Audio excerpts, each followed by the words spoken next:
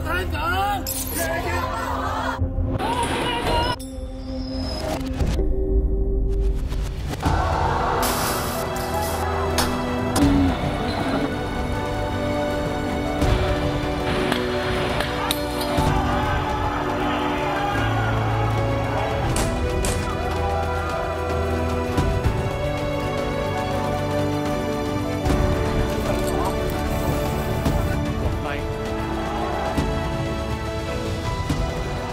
Действительно ли все то, что Сянган пережил в 2019 году, произошло из-за предложения о внесении поправок в положении САР Сянган о передаче беглых преступников?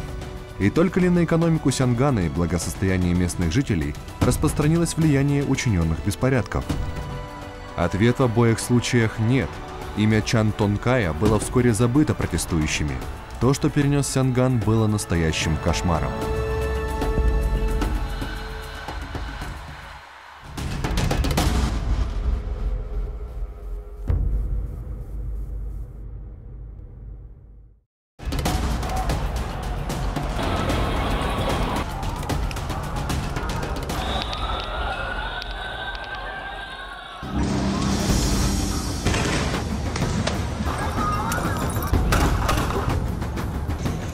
За беспорядками в Сянгане стоял ряд сплоченных сил.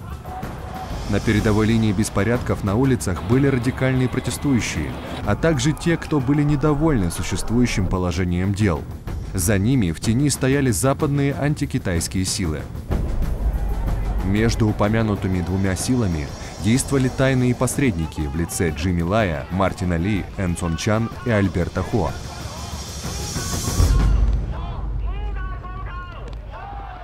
Предприниматель Джимми Лай, основатель медиагруппы Next Digital, уже давно является спонсором антикитайской деятельности в Сянгане, используя подконтрольные ему СМИ для разжигания на улицах нелегальных политических движений.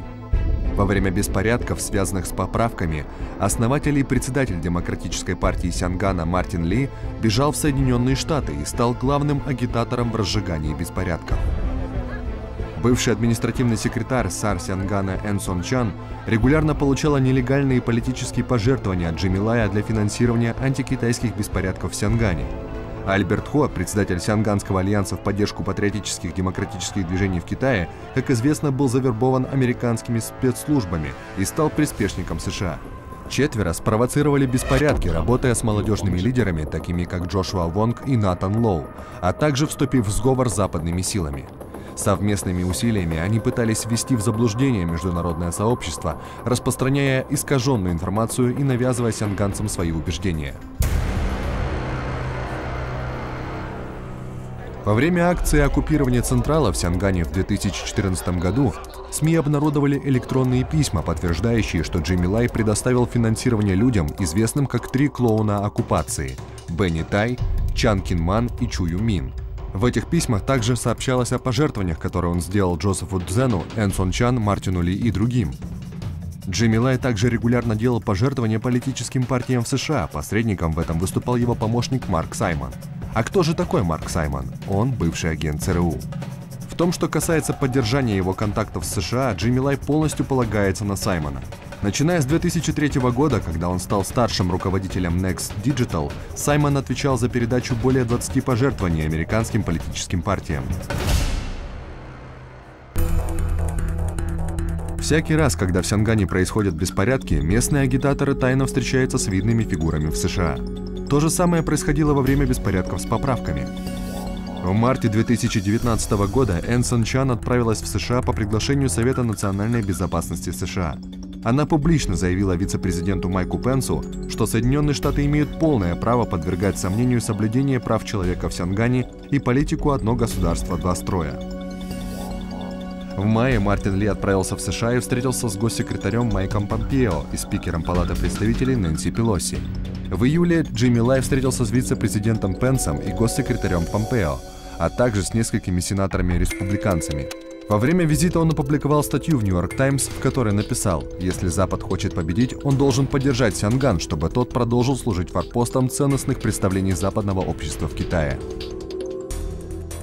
Which is fighting the same war you have with, with, with China. Любой, кто знаком с американской политикой, знает, что Совет национальной безопасности, как ключевой консультативный орган президента США, отвечающий за вопросы национальной безопасности, военные и дипломатические вопросы, является мозгом попыток США подорвать действия других правительств. После многократных визитов в США Энсон Чан, Мартина Ли, Джимми Лая и других произошла эскалация протестной деятельности в Сянгане.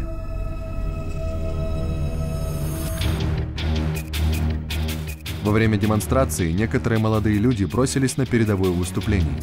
Их невинность, доверчивость, импульсивность и внушаемость – это горючая смесь, которая, разгоревшись, может затащить Сянган в пропасть.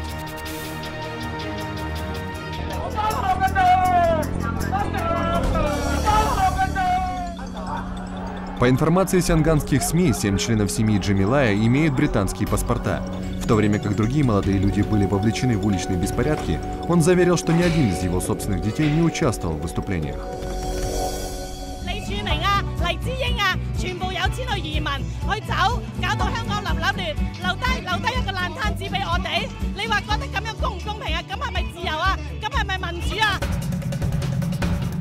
Третьего августа протестующие в Сянгане начали так называемый парад Монкок – Демонстрация включала незаконное собрание ночью возле полицейского участка Тим Шаацуй с последующей организацией беспорядков, во время которых произошли поджоги. На фоне растущего насилия на улицах сянганские СМИ сообщили, что Мартин Лиджи, Милай и другие тайно встречались с американцем по имени Кристиан Уиттон, старшим советником по стратегическим торговым вопросам в Центре национальных интересов США. В начале июня Уитон опубликовал статью «Почему Тайвань – лучший актив Америки в борьбе против Китая». Его целью было инициировать поддержку независимости Тайваня на Западе. Публикация статьи совпала с волнениями из-за поправок в положение Сарсиангана о передаче беглых преступников, и Уитон почувствовал еще одну возможность совершить нападки на Китай for the Chinese Communist Party, for the government, um, at a time when we're, uh, frankly, at a difficult point in negotiations. This is good for U.S. national interest. 6 августа Энсон Чан, Джошуа Вонг, Натан Лоу и другие главные агитаторы протестного движения тайно встретились с американкой Джулия Иде. Кто такая Джулия Иде? Согласно общедоступной информации, она является главой политического департамента Генерального консульства США в Сянгане. Однако, судя по ее дипломатическому опыту, это американский эксперт по подрывной деятельности, который умеет урегулировать международные кризисные ситуации, действуя при этом крайне скрытно. Ее департамент в качестве одного из основных ведомств США, отвечающих за психологическую войну против других стран, регулярно публикует доклады, дискредитирующие материковую часть Китая и Сянган в вопросах, касающихся прав человека. I think that um, this is the Hong Kong situation is not an isolated incident, but it has to be viewed in the context of the all the attacks that are being launched by the West against China. You know, the Huawei case, of course, the sanctions. За сянганским хаосом скрывается множество темных фигур. Работая рука об руку с внешними силами, они активно набирают, спонсируют и защищают протестующих, которые возглавляют беспорядки в Сянгане И ставят своей задачей уничтожить процветание и стабильность Сянгана, даже ценой настоящего и будущего благополучия его жителей. Хаос и беспорядки, начавшиеся с июня прошлого года, является прямым результатом действий этих фигур, которые не уважают верховенство закона и не чувствуют никакой любви к родине.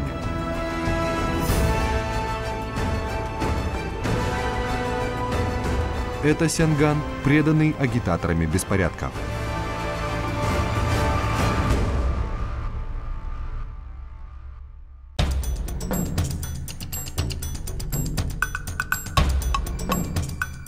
Сегодня в Сянгане все еще можно найти следы колониального правления. Он просуществовал в качестве колонии 156 лет –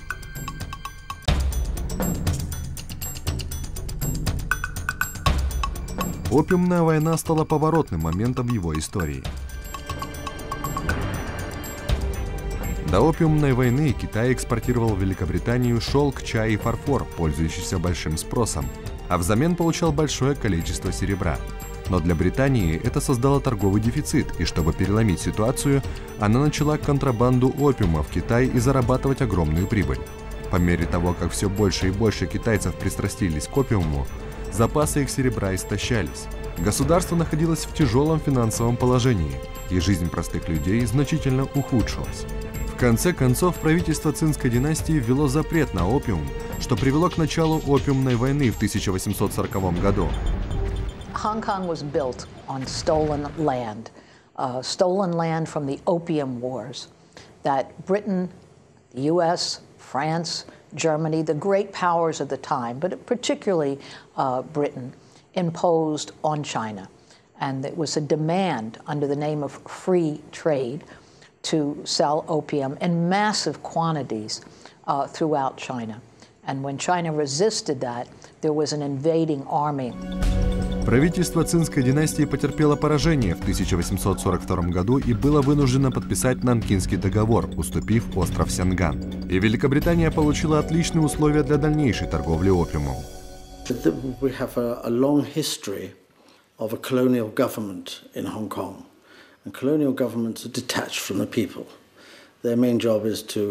Uh, the area for the benefit of the colonial power, which was us in the past. Во время демонстрации против поправок многие протестующие несли флаг дракона и льва, который использовался во время британского колониального правления, а также национальные флаги Великобритании и США. Многие из тех, кто размахивал флагами, не застали жизнь в колониальное время. Однако они почему-то были убеждены, что это был настоящий золотой век для Сянгана. Итак, действительно ли Сянган был так прекрасен при британском колониальном правлении? После того, как британцы оккупировали Сянган в 1841 году, губернатор Сянгана, назначенный английской королевой, объединил в себе административные, законодательные и военные полномочия, не будучи подотчетным народу города. The British ruled uh, Hong Kong for slightly over 150 years, and they never allowed the, the election of the governor once, not in any form at all. В период британского колониального господства китайцы, которые составляли 98% населения Сянгана, долгое время не могли пользоваться равными гражданскими и политическими правами. В начале своего колониального правления британцы принимали законы, которые открыто дискриминировали китайцев. Известный писатель Лу Синь однажды написал об этом. В сегодняшнем сянганском вестнике Universal Circulating Herald обсуждаются две вещи. Во-первых, и это очевидно. Китайцев в Сянгане все еще принижают. Во-вторых, личные обыски для них обычное дело. During the entire British era, which lasts until 1997, there was a de facto kind of apartheid that existed in Hong Kong. Chinese people were treated like third-class citizens. В период колонизации китайцы в Сянгане долгое время не могли пользоваться равными правами. Британский ученый Хопкинс так выразился в своей книге. Сянган был городом с жестким общественным порядком, при котором бедняки не могли рассчитывать на какую-либо помощь.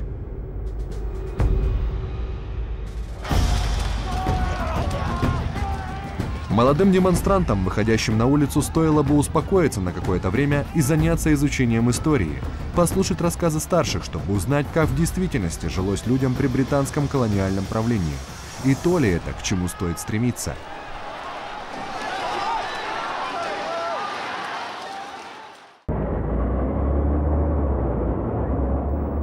В 1997 году колониальная история Сянгана подошла к концу. Но западные силы не захотели с этим мириться и не пожелали исчезнуть насовсем, тем самым отказавшись от Сянгана и потеряв свой форпост в регионе. Именно внешние силы спровоцировали в Сянгане протесты против внесения поправок. В июне 2019 года конгрессмены США Марко Рубио и Джим МакГоверн повторно вынесли на обсуждение закон о защите прав человека и демократии в Сянгане. 8 июля вице-президент США Пенс и госсекретарь Помпео встретились с Джимми Лайем.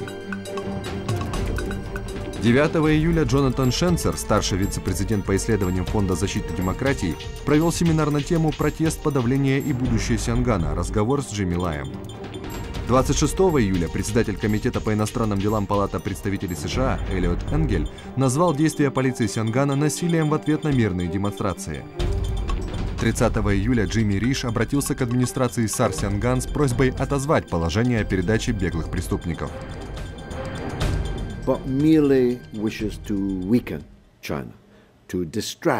China from its uh, ongoing progress – distracted, to a diversion.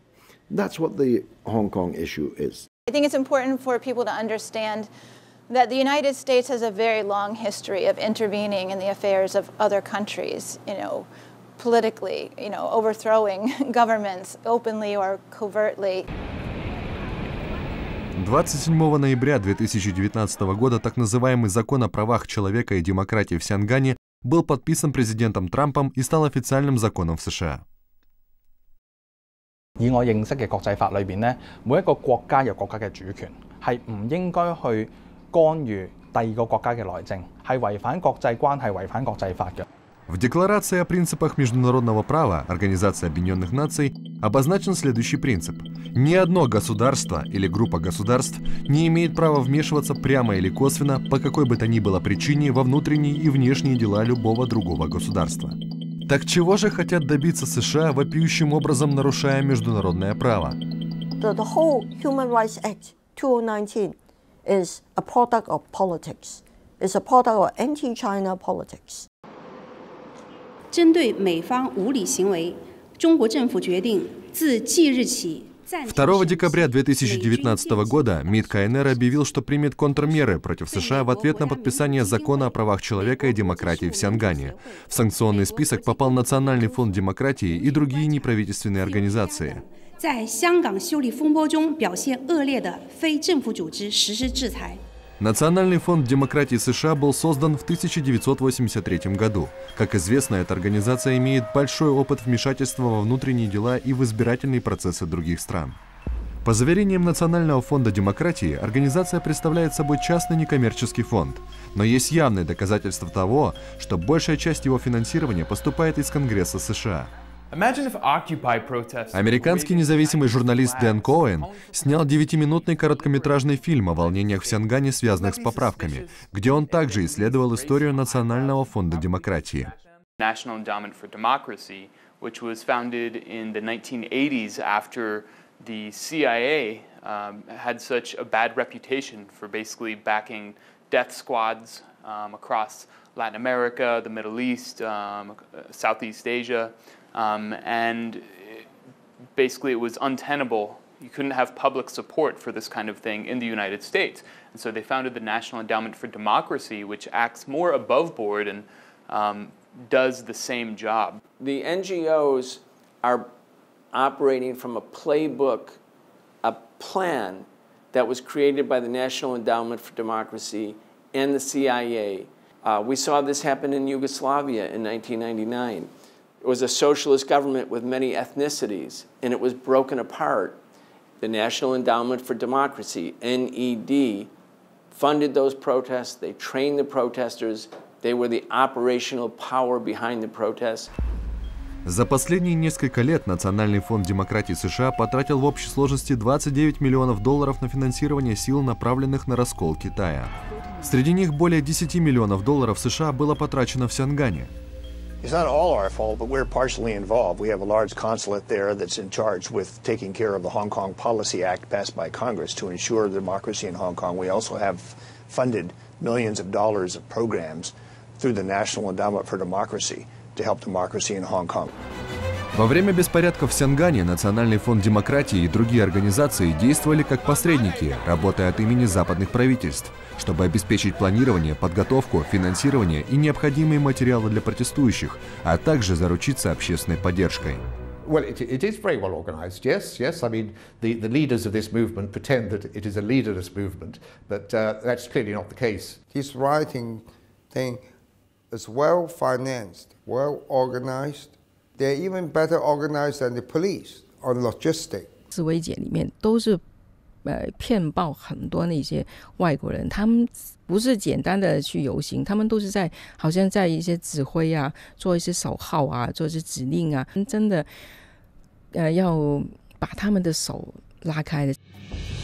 Внешние силы поддерживают беспорядки в Сиангане различными способами, от обучения спикеров до учреждения законов. Эти бесцеремонные вмешательства во внутренние дела Китая являются грубым нарушением международного права и основных норм международных отношений. За последние несколько десятилетий Сянган и внутренние районы Китая наладили взаимовыгодное сотрудничество и вышли на траекторию общего развития. А успех политики «одно государство, два строя» получил признание во всем мире. Однако вместе с тем, как политика «одно государство, два строя» в Сарсянган вступила в новую историческую стадию, волнение из-за поправок в положении о передаче беглых преступников привело к тому, что в сянганском обществе произошел глубокий раскол, а это, в свою очередь, подорвало процессы интеграции региона со внутренними районами Китая. Затянувшиеся беспорядки нанесли серьезный удар по Сянгану. Жемчужина Востока оказалась на грани краха. Антикитайская деятельность в Сянгане не имеет шансов на успех, но беспорядки могут стать козырем Запада в их нападках против Китая. Это Сянган, подвергающийся вмешательству внешних сил. Сянган – важный центр международной информации в Азиатско-Тихоокеанском регионе – Здесь развито информационное сообщение и расположены штаб-квартиры азиатско-тихоокеанских отделений большинства основных западных СМИ. If you look at the Western media, there is a general uh, misrepresentation about what's going on in Hong Kong in general. But I think this is ultimately part of the double standard. You can see that the West is absolutely taking a one sided unilateral approach in Hong Kong, if there's some tear gas fired or some policeman is seriously life threatened and he takes out his gun, he doesn't fire his gun at anybody, he just says, you know, go away, right? This carries huge uh, publicity. This is just absolute, complete hypocrisy. С начала протестов из-за поправок, искажающие правду слухи, распространяются все сильнее – Сянганское издание Apple Daily, которое является главным представителем аморальных СМИ Сянгана, и некоторые западные издания никогда не упоминают, что протестующие атаковали первыми и не показывают насилие, учиненное ими. Они показывают только полицейских, размахивающих дубинками и стреляющих резиновыми пулями.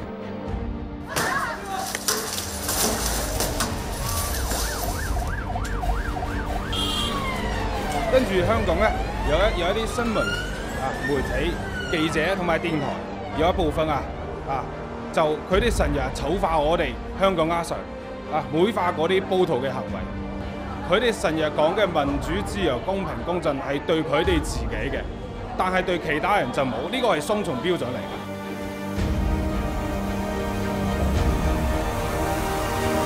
28 июля 2019 года в районе Централ и нескольких других районах Сиангана прошли незаконные марши. Полиция во время разгона демонстрантов арестовала 49 человек, 44 из которых были обвинены в мятеже. Так как часть подозреваемых находилась в полицейском участке Квайчунг, мятежники заявили, что возьмут участок в окружение. Получив приказ защищать полицейский участок, Лао Чакэ и его группа прибыла сюда в 7 утра 30 июля – 6 часов вечера того же дня более двух тысяч протестующих окружили полицейский участок Квайчун. Охранявший участок Лао Чакке и его группа пристально следили за происходящим снаружи. В 11 часов вечера они заметили мужчину, избитого мятежниками до потери сознания, и приняли решение сформировать небольшой отряд, который отправится на его спасение.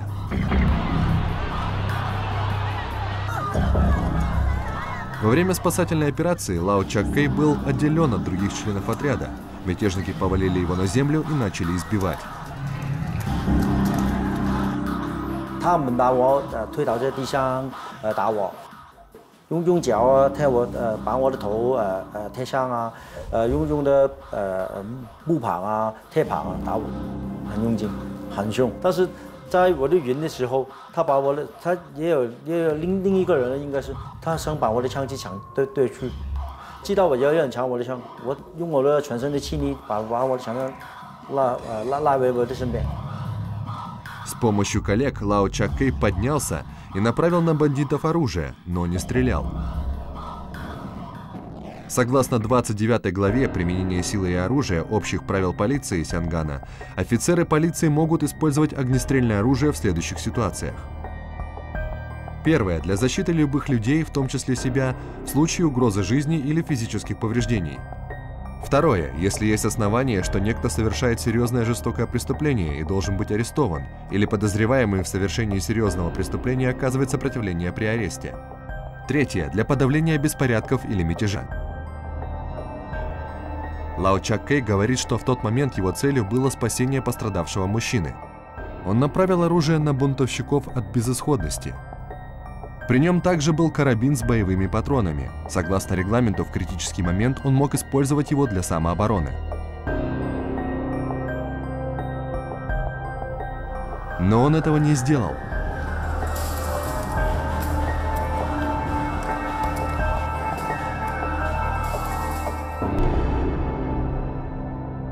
“解放枪太危险了，会死人的，不想伤人。”他们现在看来， 他们完全不知道我们在，呃，爱视他们。他们的的表现告诉我，他们根本就没没没有当过我们我们警察系人。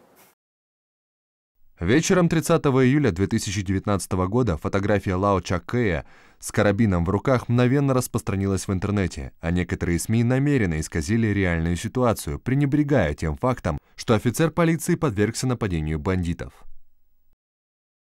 我受伤之后到现在，香港的媒体没没有一个媒媒体找我，你他们就根本他们知知道我在做什么，他们不想给你个机会去澄清。香港传媒把我们的像香港现在的情况呢，黑把倒转来说，媒体一一窝蜂一面倒的把我们呃警察说成是黑警。Камеры всегда направлены на исполнителей закона и игнорируют протестующих. Вопросы всегда задаются предвзято, специально показываются или даже подмешиваются злобные личные нападки. Репортажи часто основываются на слухах. Факты используются для необоснованных выводов. Некоторые СМИ Сянгана по молчаливому согласию с западными СМИ рационализируют поведение мятежников, лишая людей права на информацию. The reporting. uh, from we're doing. The most frequent form of distortion is to take one aspect of the situation and gr- gr- gr- enormously increase its importance out of any balance of the situation. There's fake news and what I would call falsified news. Своевременные, всесторонние и правдивые репортажи – это источник жизни СМИ. Беспристрастность, профессионализм и объективность должны быть основными качествами журналистов. К сожалению, во время беспорядков в Сянгане часть местных СМИ стали глашатаями западных сил. Они прекрасно овладели искусством придумывания небылиц, очернения полиции Сянгана, клеветы на администрацию САР, приукрашивания жестокого поведения протестующих, разжигания общественного недовольства. Таким образом, они стремятся подлить масло в огонь беспорядков в Сянгане. Сянган наводнил черный террор двух видов. Это видимый всем разорительный и уносящий жизни людей разгул насилия и незаметное распространение ложных слухов, пагубно влияющее на настроение людей. Это Сянган, накрытый злонамеренной ложью.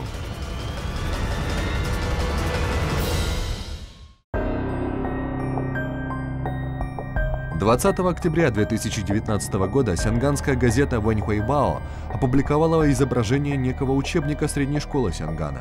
Заголовок гласил знаменитости традиционной китайской добродетели. Знаменитостью, о которой шла речь, был никто иной, как Джошуа Вонг.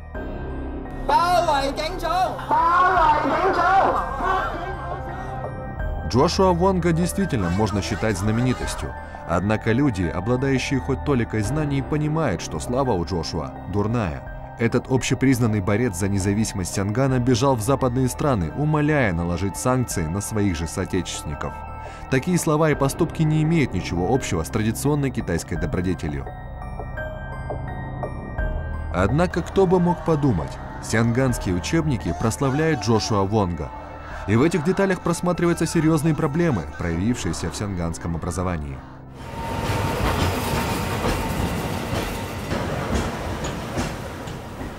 Образование формирует молодое поколение – Начиная с 2012 года, общее образование стало одним из обязательных экзаменов для учеников средней школы, поступающих в университет. Еще три – китайский, математика и английский.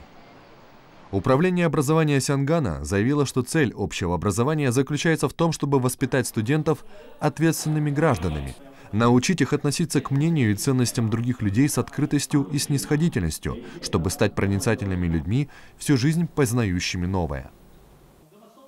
Вот первоначальная цель общего образования. Однако...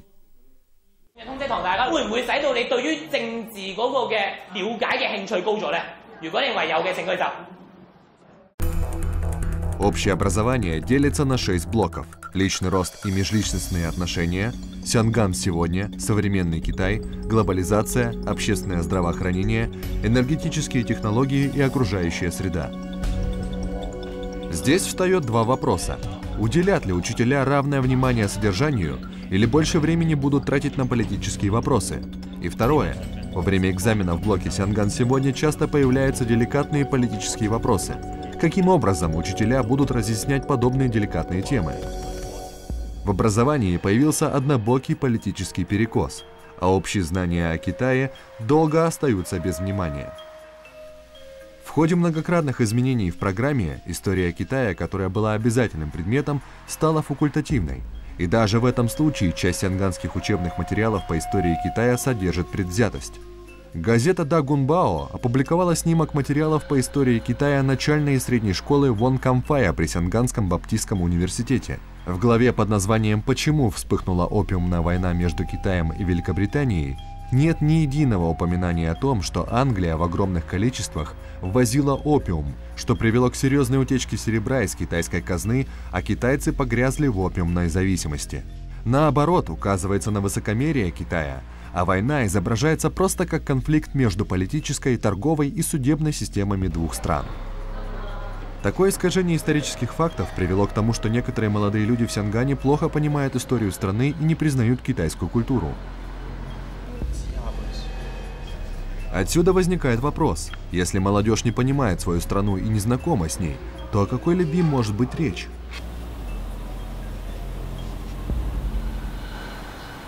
Госпожа Леунг родилась и выросла в Сянгане. Она мать двоих детей. Но сейчас она очень обеспокоена тем, в какой среде растут ее дети.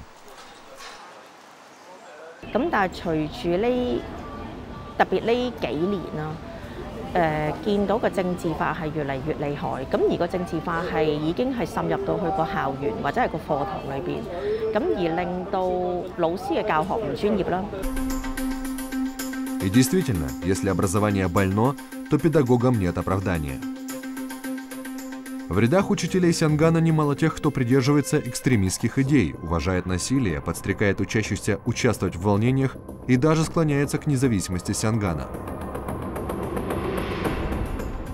Some teachers are very eager to express their political view and, and exert their influence on, on students. Okay, because they have very strong political stance, and some of them may may may, may want to uh, do something against the HASAR government. Во время протестов в Сянгане против законопроекта о беглых преступников было выявлено, что некоторые учителя используют уличные демонстрации в качестве экзамена. В экзамен была включена иллюстрация, на которой четверо полицейских несут демонстранта. Полицейские были изображены озлобленными, а экзаменационный вопрос требовал от учеников, используя собственные знания, объяснить преимущества требований демонстрантов. Ответ, который ожидал этот учитель, очевиден. Значительная часть учителей губит людей. Эта странная метафора таит в себе глубокие причины.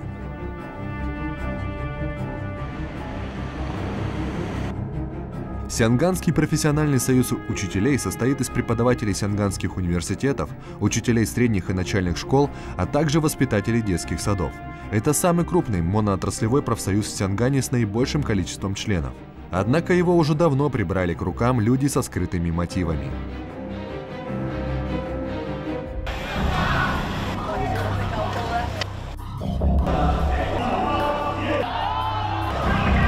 В 2013 году профсоюз учителей опубликовал статью «Реформа политической системы Сянгана. Оккупирование Централа на повестке дня». пояснив, что это пособие по гражданским и общим дисциплинам, а также пригласил Бенни Тая, инициатора незаконного оккупирования Централа, выступающего за гражданское неповиновение в качестве консультанта. В августе 2016 года руководитель профсоюза учителей Ип Кин Юэн не только выразил поддержку пропаганды школьниками независимости Сянгана на территориях школ, но и заявил, что они обладают собственным мнением, беспокоятся о текущих событиях и имеют мощное осознание местности. Во время протестов в Сянгане профсоюз учителей активно инициировал демонстрации, подстрекал научное сообщество на протесты в парке Виктория, чтобы решительно выразить свои политические требования. Согласно информации, опубликованной Управлением образования САР Сянган в декабре 2019 года, во время протестов управление получило в общей сложности 123 жалобы, касающиеся профессиональной этики учителей, в основном связанных с разжиганием ненависти. Было арестовано 80 человек. 没有了是非价值的判断，就是形成了价值是非的虚无化，就可能对一些行为，特别是一些反社会的行为、侵害他人的行为。 没就缺乏了约束力，就会呃把这个扩大化了。比如说他的极端的自我主中心自我主义、极端利己主义等等啊，还有就是反叛的那个极端的极端性的反叛的等等，都变成了在他这个年龄里面的一些呃特质。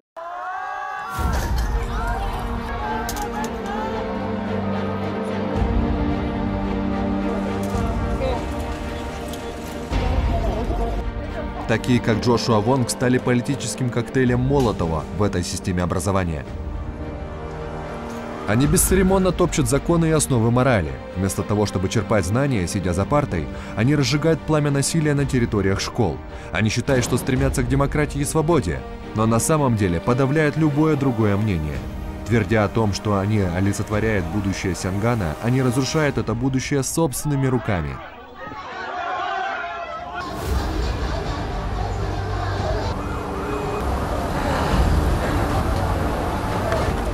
статье, опубликованной в «Нью-Йорк Таймс», Джошуа Вонг написал «Защитить то, что сделало Сянган уникальным, отвечает интересам Вашингтона».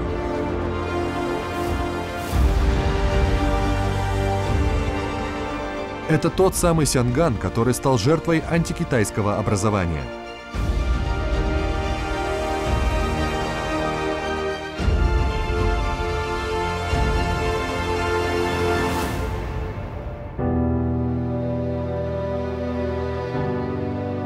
В 2019 году Сянган оказался на краю пропасти.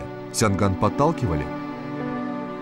Согласно обзору экономического положения 2019 года и прогнозу на 2020 год, впервые за 10 лет в Сянгане произошел упадок экономики. В 2019 году она сократилась на 1,2%. Расходы на частное потребление упали впервые с 2003 года. Рекордно снизился объем туристических услуг – а общие инвестиционные расходы в процентном соотношении максимально снизились за 20 лет. Многочисленные факты указывают на то, что целью радикальных насильственных преступлений, произошедших в Сянгане, было парализовать администрацию САР, следом захватить власть в районе и превратить Сянган в независимое или полунезависимое политическое образование, чтобы в конце концов от политики одно государство до строя осталось одно название – но теперь люди невольно задаются вопросами. Куда идет Сянган? Будет одно государство два строя поддерживаться или будет уничтожено? Будет ли верховенство закона процветать или будет растоптано? Сохранит ли Сянган свое процветание и стабильность или будет разрушен?